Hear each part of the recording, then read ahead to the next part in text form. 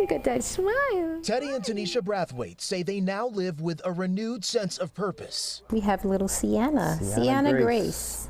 Her nickname is Cece, and so far, she's earning straight A's in the fight against the odds. We've heard she won't make it past a day. We've heard she won't make it past a week. And here we are at 10 months. Teddy and Tanisha learned very early on in their pregnancy that Cece carried an extra copy of the 18th chromosome. Trisomy 18, also known as Edwards syndrome, is a rare and serious genetic disorder that affects roughly one in every 2,000 births. Historical survival rates are not promising. Most babies do not live beyond the first two weeks of life, and fewer than 10% live beyond the first year, typically due to major heart and or lung defects. The Decided to go public with their story on March 18th, Trisomy 18 National Awareness Day. Little hiccups here and there, but she's she's strive pushing through.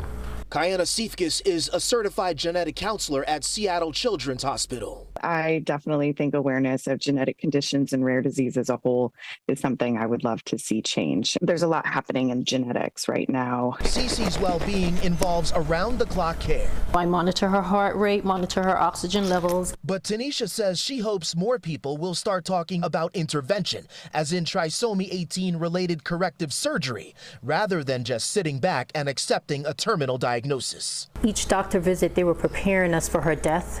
I was preparing for her life. Teddy and Tanisha are the first to admit this has been a difficult journey, but they say it takes a village to raise a child, and Cece is not just some other baby on the block.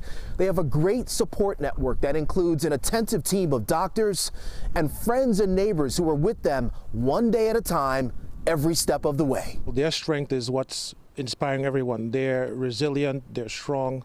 Um, it's a blessing to be part of their network. From a call, you know, at the middle of the night to first thing in the morning, being there for them to support them is what helps them, helps Sian, and helps us get through this process. Tanisha says she hopes her family's journey can inspire others to see past the stats and embrace the hope Cece gives them as she approaches her first birthday. My hope is for these families to see this story and just know that there is hope. We care for her, we love her, we pray for her.